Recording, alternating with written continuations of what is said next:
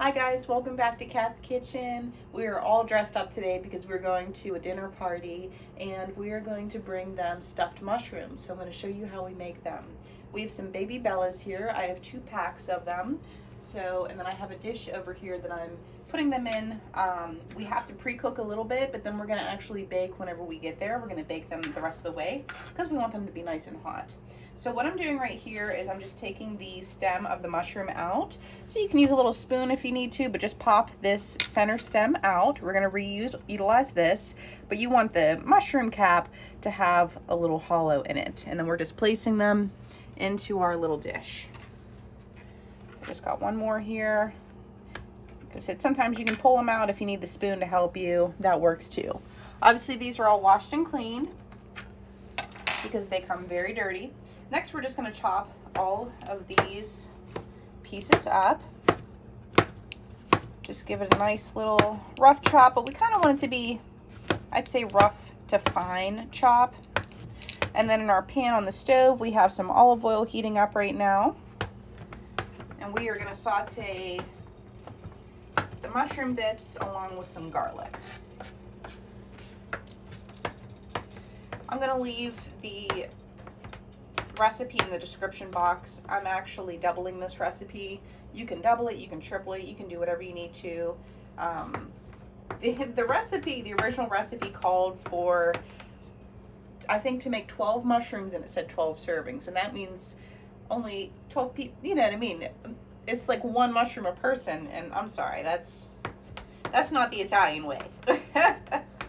so as you can see, we've got bigger mushrooms, we've got smaller mushrooms. And there's going to be more hors d'oeuvres there as well. So it's going to be great.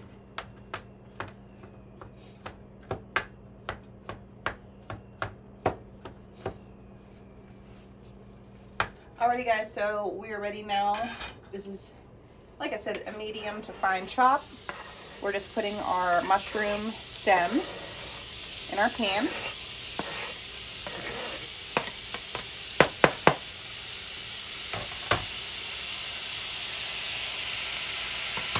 And we got some minced garlic here.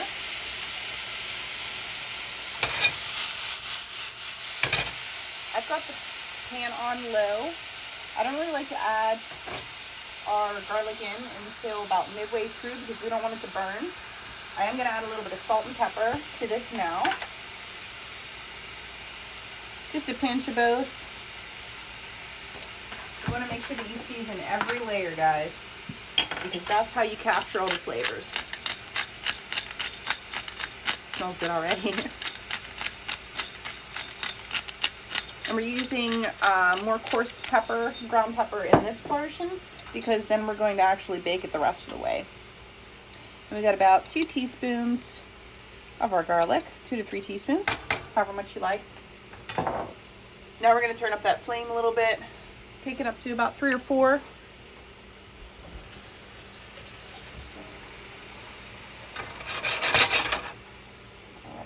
I'm just going to use a spatula for this because this is really all this is here. We're going to turn up that flame.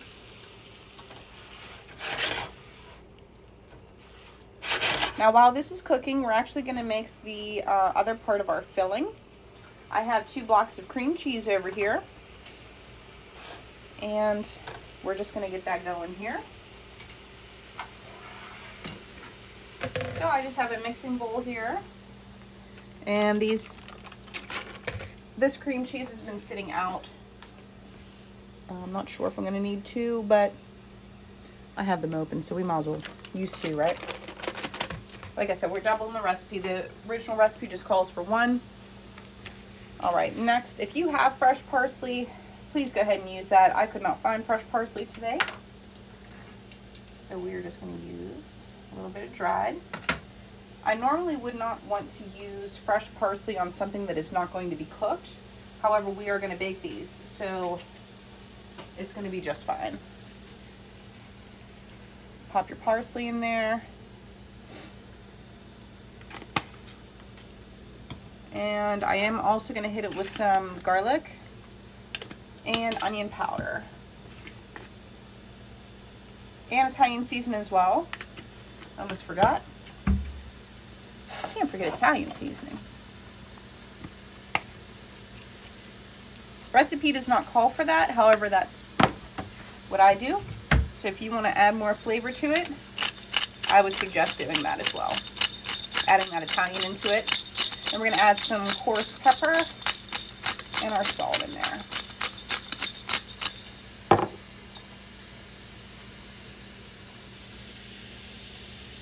Next is breadcrumbs. Okay, and then we're gonna go back to our mushrooms. We're gonna give these a stir.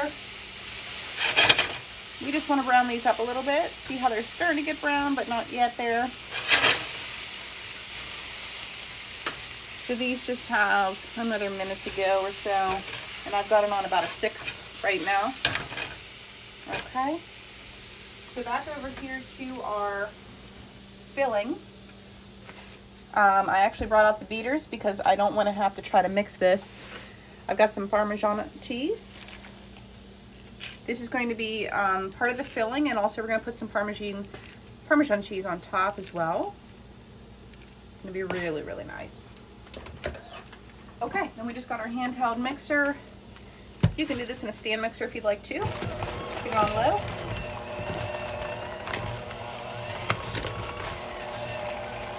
We're just to mix this all the way through and we'll be back as soon as this is all mixed to show you what goes next.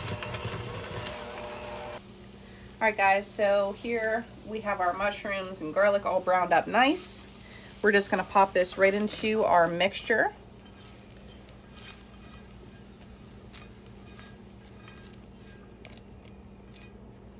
Nice. Okay. And we're gonna try to mix this again. Good thing we brought out the beers. A little bit of a pain. They're gonna taste really good. Up. It's gonna start looking like this. So I'm just gonna start whipping it now. Now I can go a little bit faster with it. Just hold on tight. Unless you have a stand mixer, then you're good to go with that.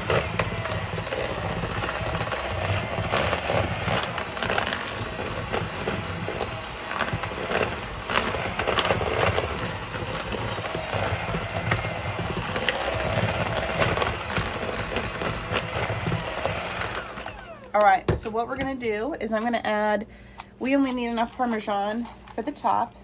So I'm gonna mix in some more Parmesan cheese.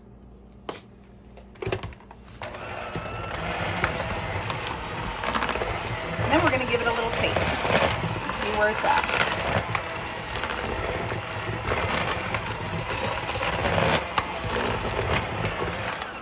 Okay, let's give it a taste.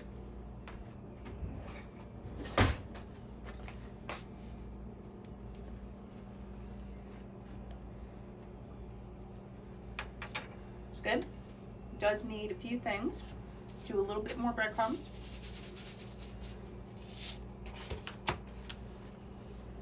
More salt and pepper. Just remember that your Parmesan cheese is a little salty too. So you don't want to add in too much salt until you taste it. That pepper needs cooked out. That's what I'm crunching on right now. But once these bake, that's all gonna emulsify. So don't worry on that after you bake it. I am gonna pick it up a little bit more of a notch it needs some more garlic and onion powder. And I'm gonna even do a little bit of Italian seasoning some more because, like I said, it just needs that. If you wanna actually take it to another level, you can add in a little bit of red pepper flakes.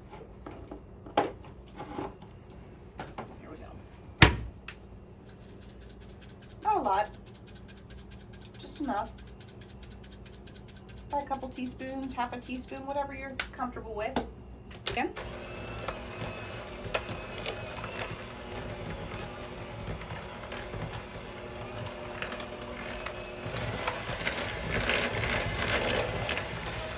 Once you have it incorporated, you can then turn up the heat, or turn up the speed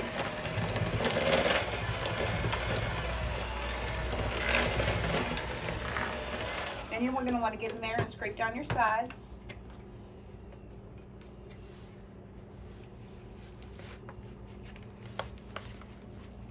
Just to make sure everything is incorporated. It's a beautiful color with that parsley in there. Then we're going to taste it again.